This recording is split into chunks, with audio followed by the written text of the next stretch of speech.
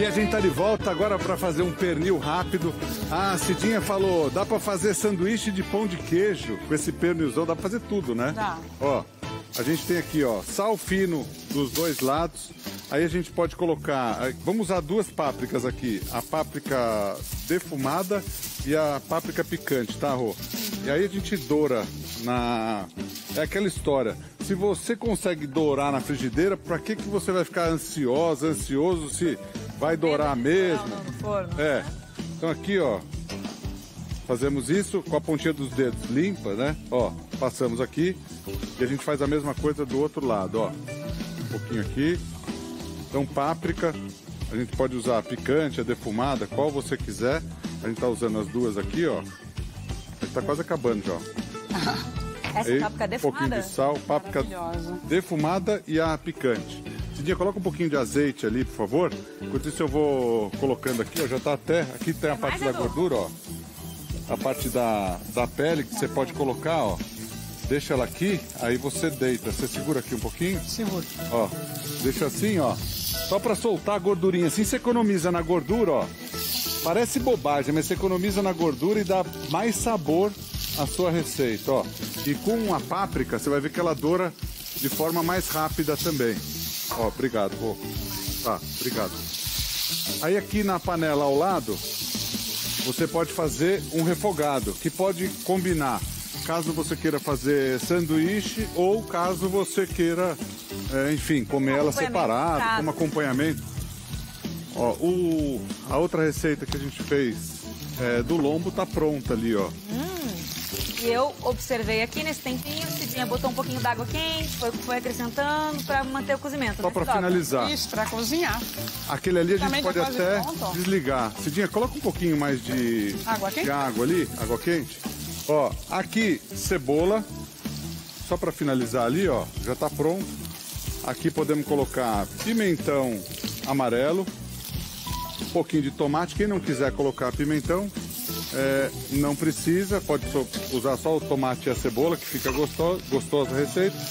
Aqui, ó, Cidinha, deixa esse daí aí. É, vamos fazer a couve frita? No óleo, aqui, ó, couve frita no óleo. Deixa aquecer. Aí vamos olhar aqui como ela tá, ó. Olha o pernilzão. Como é que a Maria falaria, Rô? Pernilzão. Pernilzão, ó. Olha Tá só. linda. Ó que maravilha, fácil de fazer. Amado, você sabe fazer isso daqui, ó? Pernilzão, hein, Amado? Ó, pra fazer pra esposa, ó que pernil gostoso, ó. O Amado faz um excelente trabalho lá em no Paraná, né? Ó, doura de um lado, doura do outro, a pele a gente pode dar uma dourada nel- nela também.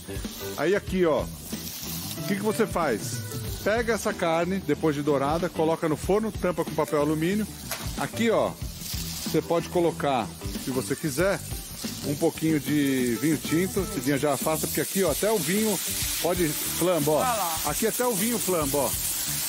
Flambou. Você viu? Aqui o vinho flamba, hein? Ó.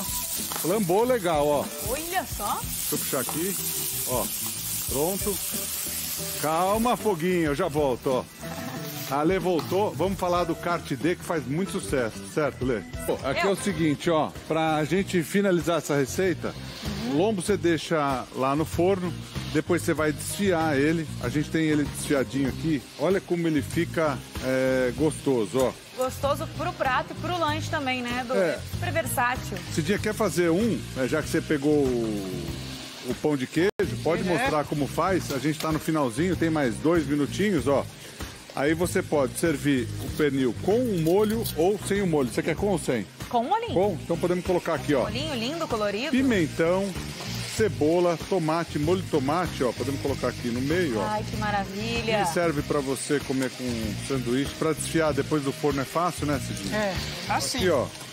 Você coloca direto aqui e pode servir assim. Fizemos várias receitas é, hoje.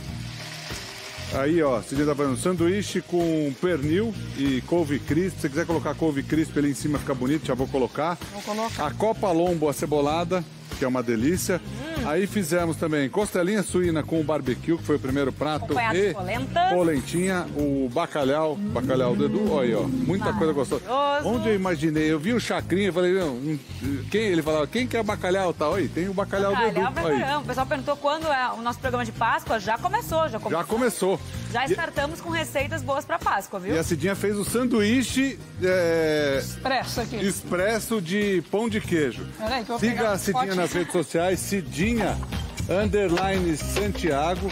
Siga a Roberta, arroba Scherer Roberta, Isso certo? aí, coloquei lá uma receitinha de velhinha de manteiga que vocês vão gostar para aperitivo. quê? No meu Instagram, uma, uma manteiga que vira uma velhinha para te comer de aperitivo. Ah, Dá uma gostei. olhadinha lá depois, Edu, o que, que você acha. Perfeito. Siga também nas nossas redes sociais o nosso programa, arroba The Chef com Edu, e siga o Edu, Edu Guedes Oficial. A você de casa, muito obrigado pelo carinho da sua audiência.